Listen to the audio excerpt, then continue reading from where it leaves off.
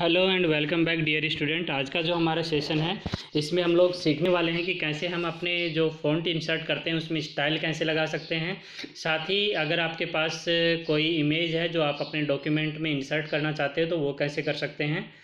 Session शुरू करने से पहले मैं आप लोगों को बता दूँ कि जो लास्ट सेशन में हम लोगों ने टेबल इंसर्ट करना सीखा था टेबल क्रिएट करना सीखा था टेबल पे वर्क करना सीखा था, कैसे हम रो इंसर्ट कर सकते हैं कॉलम इंसर्ट कर सकते हैं, साथ ही उसका बैकग्राउंड कैसे चेंज कर सकते हैं। सो लास्ट सेशन से आप सभी स्टूडेंट से क्वेश्चन है कि आपको कमेंट बॉक्स में लिख के बताना है मुझे शॉर्टकट की क्या होती है टेबल को क्रिएट करने की।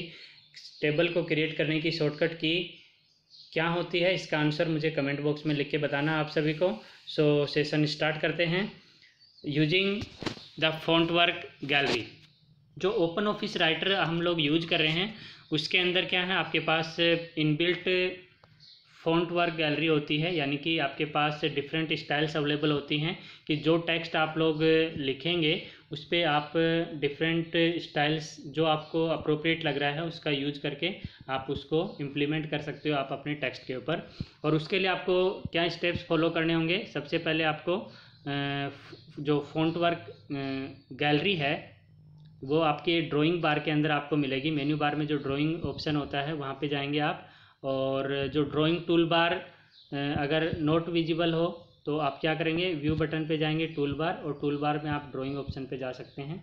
दूसरा जो आप ड्राइंग बटन पे क्लिक करेंगे तो आपके पास नया डायलॉग बॉक्स खुलेगा फ़ॉन्ट गैलरी डायलॉग बॉक्स और उस फ़ॉन्ट गैलरी डायलॉग बॉक्स में आपको कोई भी स्टाइल सेलेक्ट करनी है और उसके बाद आपको ओके बटन पे क्लिक कर देना है।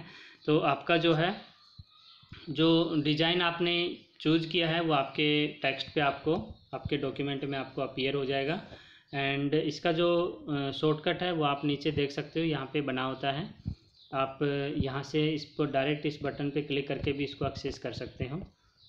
नाउ जो ड्राइंग बार है उससे, जो आपके पास स्टाइल अवेलेबल होती हैं आपकी फ़ॉन्ट वर्क गैलरी में, ये डिफरेंट स्टाइल्स होती हैं।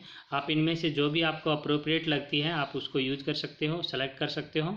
और सेलेक्ट करने, जैसे आप उसको सेलेक्ट करते हो, वो आपके टेक्स्ट पे इम्प्लीमेंट हो जाता है। फॉर एग्ज़ाम्पल आपने लिखा फ़ॉन्ट वर्क और फ़ॉन्ट वर्क में आपने जो आपका स्टाइल है, ये स्टाइल आपने सेलेक्ट किया तो आपका जो फ़ॉन्ट होगा, उसका स्टाइल कुछ ऐसा होगा और आपका विजिबिलिटी होगी आपके डॉक्यूमेंट में उसकी, वो कुछ ऐसी होगी। तो आप इस तरीके से आप अपने जो जो टेक्स्ट आपने इंसर्ट किया है, उसके ऊपर डिफरेंट स्टाइल्स इम्प्लीमेंट कर सकते हैं। दूसरा आप आपके पास जो तरीका है कि आप अपने डबल क्लिक कर सकते हो जो डिज़ाइन आपने किया है और जो आपका डिफ़ॉल्ट टेक्स्ट होगा उसको चेंज करके एडिट कर सकते हो, अपना जो नया टेक्स्ट लिख सकते हो। साथ ही जो आपने चेंज किया है टेक्स्ट को, वो चेंज टेक्स्ट जो होगा, वो उस स्टाइल के साथ आपके आपके जो डॉक्यूमेंट है उसमें नज़र आएगा। जैसे बाय डिफ़ॉल्ट ये क्या लिखा हुआ फॉन्ट वर्क लिखा हुआ है। आप इसको डबल क्लिक करके इसको एडिट कर सकते हो और आप जो वर्ड लिखना चाहते हो वो आपका डिस्प्ले हो जाएगा। सो so, इस तरीके से आप उसको चेंज कर सकते हैं। फ़ॉन्ट वर्क जैसे लिखा हुआ है आपने इसको चेंज कर दिया। फ़ॉन्ट वर्क को डबल क्लिक करके एडिट कर दिया और उसको आपने नाम दे दिया कंप्यूटर तो अब क्या होगा? स्टाइल वही रहेगी, लेकिन आपका जो एडिटिंग के बाद जो आप, आपको वर्ड चाहिए था, आपका, आप उस टेक्स्ट पे आप अपना स्टाइल इम्प्लीमेंट कर सकते हैं।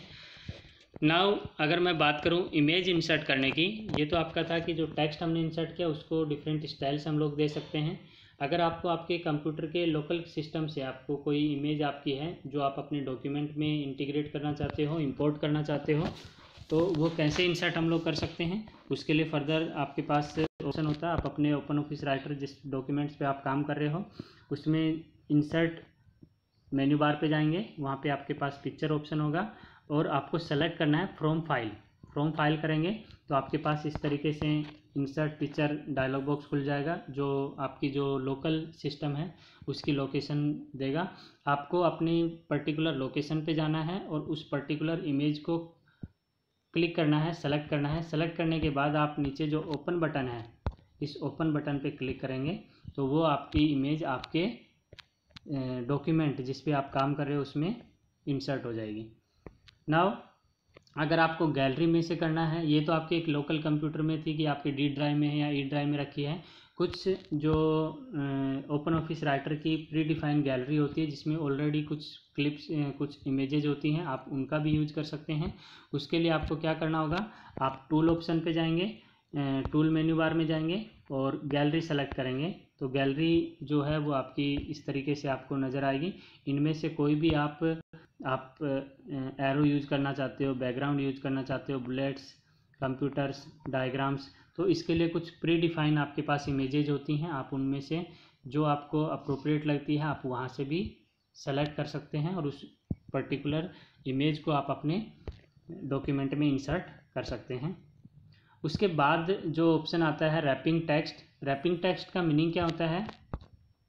It is a feature that automatically start a new line when a word in the sequence reach in the border of the picture the text box of the margin there are different options of the wrapping text around the image यानी कि बहुत बार आप ऐसा देखते भी होंगे different website पे blogs पे या फिर न्यूज़पेपर में आपकी इमेज लगी होती है उसके साथ या तो यहाँ से लिखना स्टार्ट होता है राइट या फिर आपकी इमेज के इमेज बैकग्राउंड में होती है और आपका इमेज के ऊपर भी लिखा हुआ होता है या फिर हो सकता है आपका इमेज ऐसे है और आपका टेक्स्ट कुछ ऐसे लिखा होता है।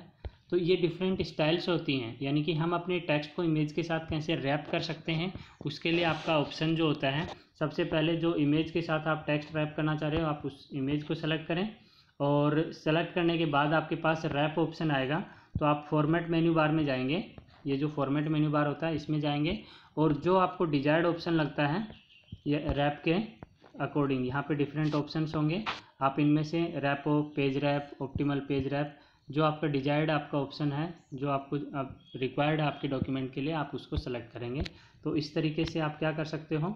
आप अपने जो टेक्स्ट है उसको इमेज के साथ रैप कर सकते हो। सो so, ये आज का सेशन था हमारा। और कीप वॉचिंग कीप लर्निंग और शायद नेक्स्ट सेशन में या उससे नेक्स्ट सेशन में हमारा ओपन ऑफ़िस राइटर कंप्लीट हो जाएगा।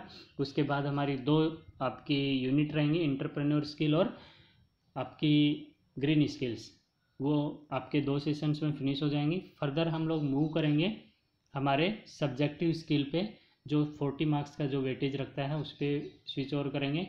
And during the summer vacation आप लोग पढ़ते रहिए। अगर आपको कहीं भी कोई डाउट आता है तो आप मेरे से पूछ सकते हैं। आपकी बोर्ड की क्लासेज हैं so be serious about your study thank you